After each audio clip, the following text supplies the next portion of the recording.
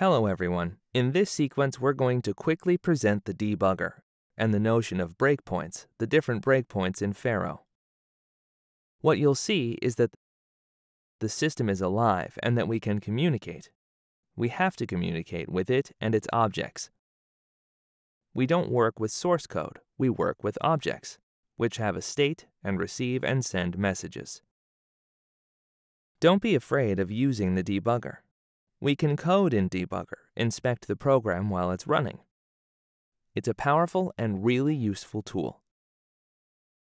I know several developers, myself included, who have a tendency to develop directly in debuggers. So a great deal of code is written in debuggers rather than in a code browser.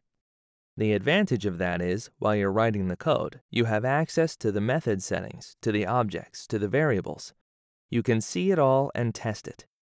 You've all the data at hand to be able to test it while writing the code. The debugger looks like this. There's a title bar indicating the error message. Here's the stack, the call stack. That's to say the call method. Here, we can see that this method, perform test, has called method test summing, which has called the method plus, which has raised the problem does not understand. Here we have the code of the area that's selected here. What's selected here is the method plus the dice handle class, so it appears in the lower window. And right at the bottom we have different variables. All the variables accessible within the context of the execution underway in order to modify the variables, to inspect the objects, etc. It's a group of actions in that area that allows us to restart the execution of the method or dive into the code, or see line by line what's happening. When a debugger opens, closing it won't solve the problem. It's much easier to open the debugger, to look inside in detail at what's causing the problem, and inspect the call stack and objects, and fix the problem in debugger rather than close it and then guess why debugger opened. The debugger is your best friend. It allows you to communicate with all the context objects, whether it's the settings, the instance variables, etc. To check the state of all the variables and even modify this state. To send messages to check the state of certain objects or check how they're reacting. We can, of course, modify the methods on the call stack, saved, and continue with the new code without any problem, all without restarting execution from scratch. So if a method fails, we correct the method. We restart execution of the method, and the program continues. One way of debugging that's very frequently used is showing things on the console we can see that this is really a poor way of debugging because you have to modify all the methods you want traces in and then modify them again to remove them when the problem's fixed. And then you have to know or have an idea where the problem where the problem might lie or where it comes from to know where to put the line and what to show.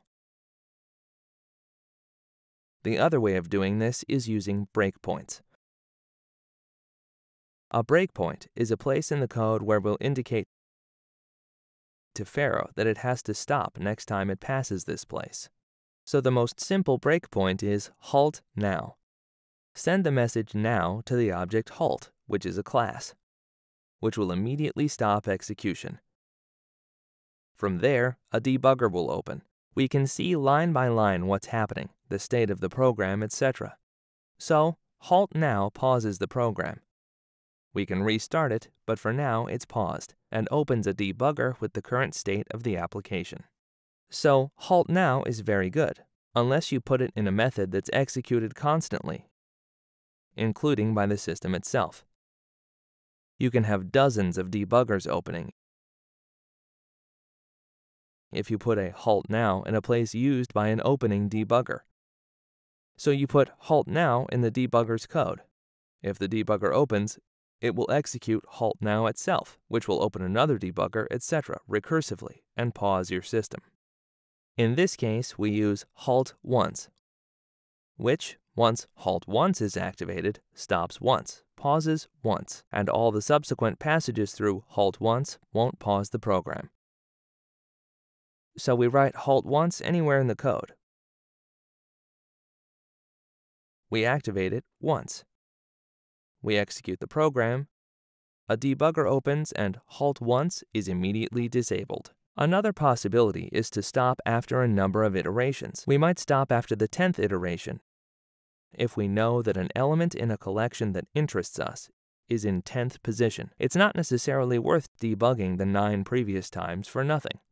So we stop at the 10th iteration. Another possibility is to stop when a particular condition is true. So for that, we have halt if.